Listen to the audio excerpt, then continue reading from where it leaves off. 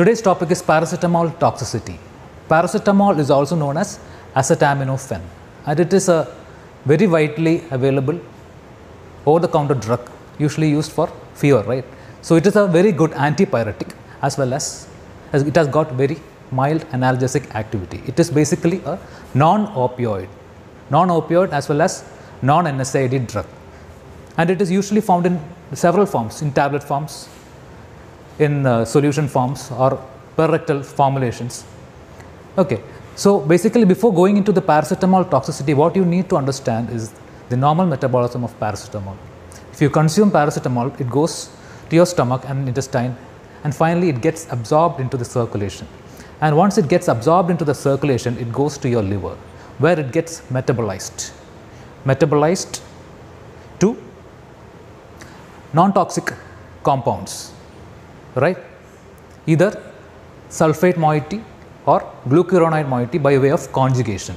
Okay so this this paracetamol goes to your liver finally gets metabolized to sulfate or glucuronide moieties by way of conjugation and finally it gets excreted into urine. A small percentage around 5 percentage of paracetamol will be converted into a toxic metabolite known as NAPQI. NAPQI is N-acetyl para-benzoquinone which is a very toxic metabolite. It causes centrilobular necrosis in the hepatocytes as well as cytolysis. So, NAPQI is a very toxic metabolite which, cause, which is mainly responsible for the liver damage. Under normal circumstances, the glutathione reserves in our body converts this NAPQI into a non-toxic metabolite such as cysteine or mercaptopuric uh, acid and finally that is also excreted into urine. Whereas if you consume too much of paracetamol and what happens is the glutathione reserves in your body gets depleted, depleted so much that the NAPQI gets accumulated in the, the liver and finally this NAPQI will cause hepatocellular necrosis and liver damage. Right. So, a patient, any patient who is coming to the emergency department, he can come, the first question that you need to ask apart from the routine age, sex, all these things, you need to ask is how much of paracetamol the patient has consumed. So, according to the British guidelines, what they say is any patient who's coming to the emergency department, you classify them as either high risk group or a low risk, low risk group. These high risk group patients, who all comes under the high risk group patients.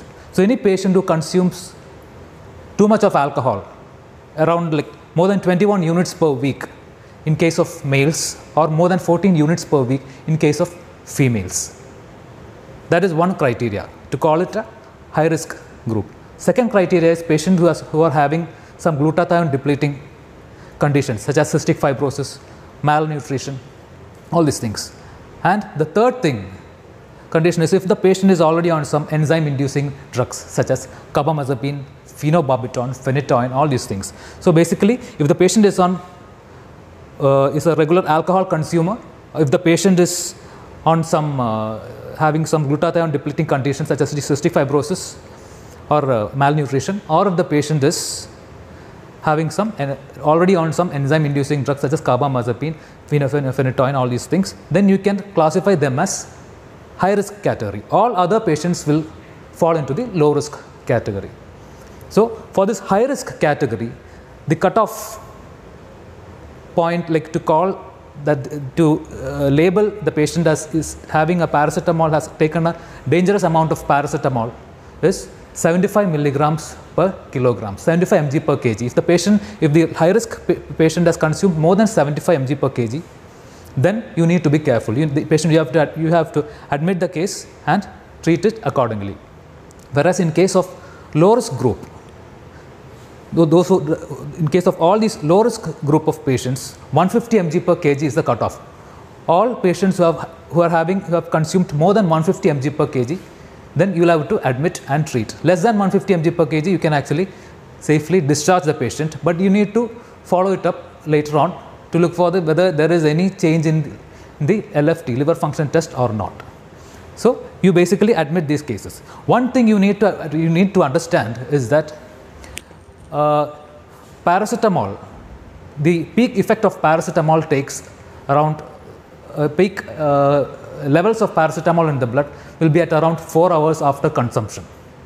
So, any paracetamol you consume, most of them will be absorbed, but the peak levels will be seen at around 4 hours. So, any, if a patient has come to you within 1 hour of consumption, you will have to wait till 4 hours. Okay. After 4 hours only you are supposed to draw the blood sample to look for the level of paracetamol. Before that there is no point taking the paracetamol. If the patient has come to you with within 1 hour of consumption, if you take paracetamol, uh, take the blood levels, it may not represent the actual paracetamol level in your in, in the body.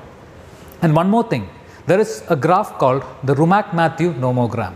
In that graph, in that Rumack-Matthew nomogram, it plot basically on the x-axis, on the uh, x-axis, you have got the time after consumption of paracetamol, and on, along the y-axis, you have the plasma paracetamol levels.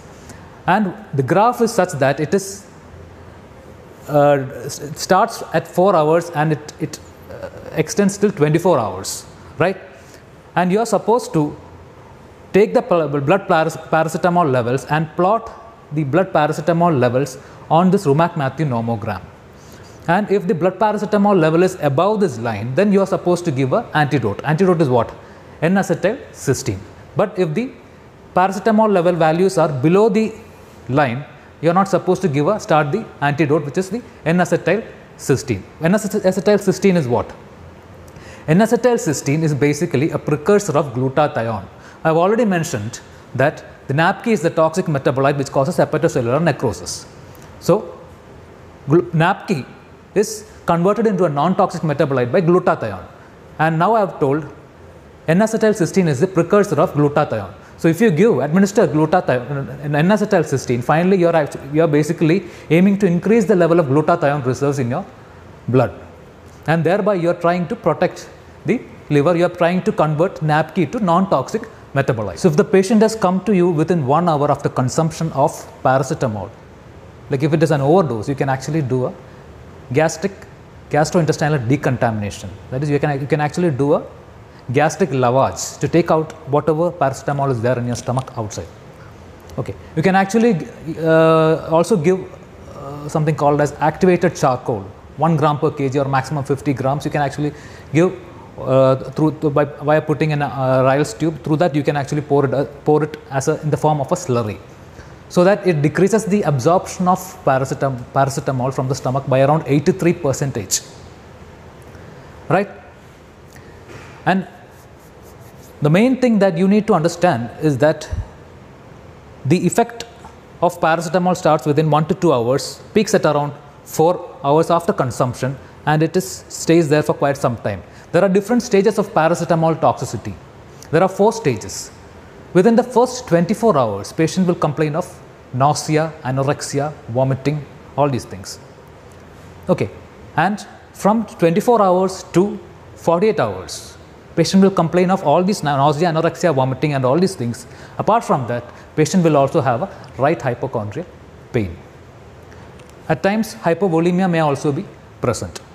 And at, in stage 3, which starts from 48 hours to 96 hours. And uh, in this condition, patient will develop severe hepatocellular necrosis, right? I've already mentioned like towards the end, the NAPQI causes centrilobular necrosis. Finally, it leads to severe alteration of liver function uh, tests, especially ALT will be grossly uh, elevated and there you will also find severely uh, deranged coagulation parameters and also so at times you can also get a uh, renal function abnormalities also. And in stage 4, stage 4 is a period of recovery.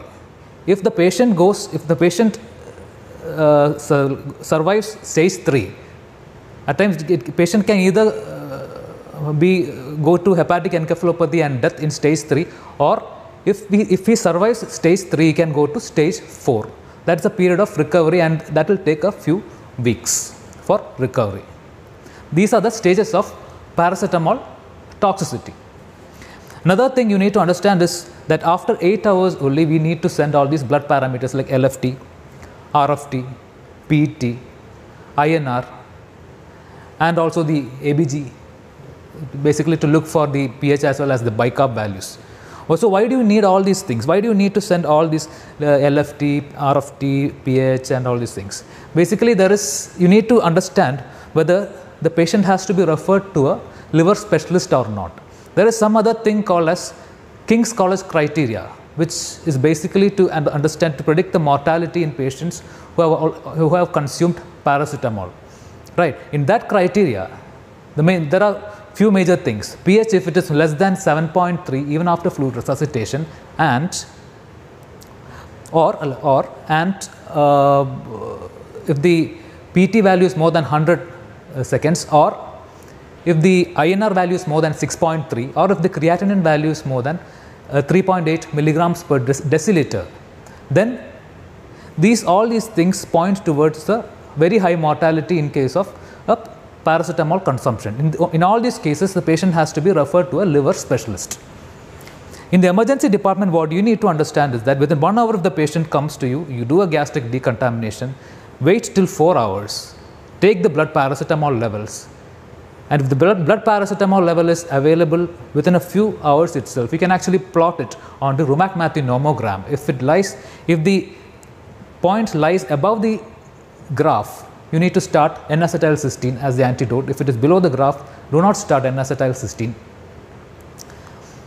And later on, the N-acetylcysteine dose, dosage, I need to mention it right now here. The N-acetylcysteine dosage for adults, it is 150 milligrams per kg given over 1 hour. There are basically two two protocols either the IV protocol or the oral protocol. The IV protocol is a basically 21 hour protocol. The oral proto protocol oral it is it's a 72 hours protocol. The IV protocol, the basic, the starting dose is 150 milligrams per kg given over 1 hour, 50 milligrams per, per kg given over 4 hours, 100 milligrams per kg given over 16 hours. This is the 21 hour protocol and all these in N-acetylcysteine is basically given in dextrose 5 percentage. In the like the first 150 mg per kg you can give it give it in 200 ml of uh, Uh, dextrose 5 percentage. 50 mg per kg can be given in 500 ml and 50 mg, uh, 100 uh, mg per kg can be given in 1 liter of dextrose 5 percentage. That is about the IV protocol. In case of oral protocol, if the patient is not willing for IV injection, you can actually give N-acetylcysteine in the form of tablets. That's a 72 hour protocol. There you give 140 milligrams per kil kilograms per oral stat and then you give 17 doses of 70 mg 70 70 mg per kg uh, N-acetylcysteine at a gap of 4 hours. So, total will be 17 start of 140 mg per kg then 17 doses of 70 mg per kg N-acetylcysteine. This is the normal treatment that you give in case of a paracetamol toxicity right and apart from this treat the underlying other if the patient has gone into hypotension or, or, or all these things give fluids right? And if the patient if the by the by the time you have already uh, patient is already on treatment if the patient develops some anaphylactoid reaction then you need to discontinue the N-acetylcysteine infusion for quite uh, for a short period of time. Give whatever the supportive medications the antihistamines or whatever it is you give it. And finally you restart the N-acetylcysteine at a very low dosage. Okay around 50 mg per kg you can actually restart. So, basic idea is any patient who is coming to your department with paracetamol toxicity identify how much dose the, dose the patient has consumed treat it identify whether the patient has consumed a toxic dose or not and when the patient has consumed paracetamol and accordingly you draw blood samples for serum paracetamol levels LFT, RFT INR, creatinine, all these, all these things you need to draw at suitable time, time intervals. And finally, you are basically trying to convert what? The NAPQ into non-toxic metabolite by giving N-acetyl cysteine. This is the major uh, treatment to be given in an emergency department and if the patient falls into any of these King's College criteria for which predicts mortality in case of paracetamol poisoning, then you refer the patient to a, a liver specialist. Okay, thank you.